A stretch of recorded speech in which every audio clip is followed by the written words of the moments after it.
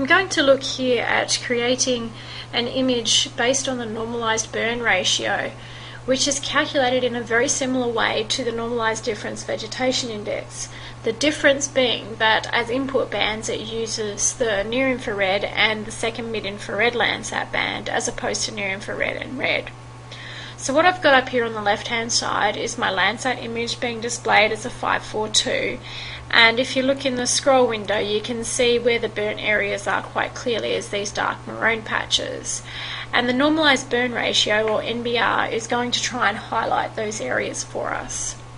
And what we're going to do, as, as it is calculated very similarly to the NDVI image, we're going to use the function within, within the NDVI, within ENVI for the NDVI. So I go to transform and NDVI, and as the input I'm going to use my base Landsat image, which has been radiometrically corrected. And I click OK on that. Now the only difference here is with the NDVI the calculation is near infrared minus red or near infrared plus red.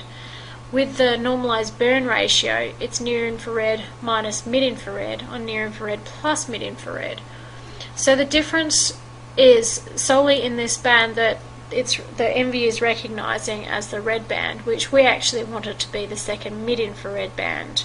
So for Landsat TM, that's band 7. So all we're going to do is change that so it essentially tricks ENVI into thinking that it's performing NDVI, but it's actually performing the normalized burn ratio instead. So that's all I need to do before I choose my output file, navigate to my output directory and enter that in and click OK to perform that, that correction, that um, algorithm. So I'll open that image that I've already um, I've already created.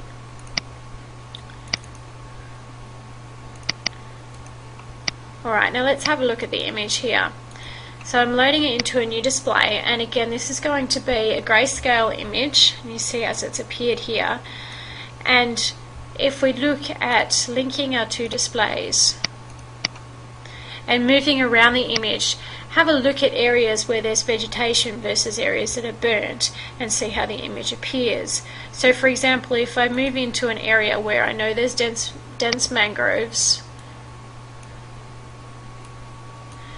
and dynamically flick between my two images, you can see that dense mangrove areas are bright white in the in the normalized burn ratio image, whereas they're the, the standard dense vegetation colour in my in my colour composite.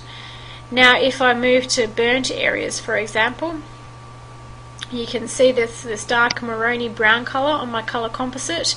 And in the normalised burn ratio image you can see this is a very dark colour.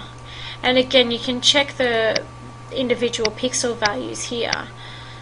Okay so what we're looking at in the image is areas that are particularly dark are more likely to be burnt in that image.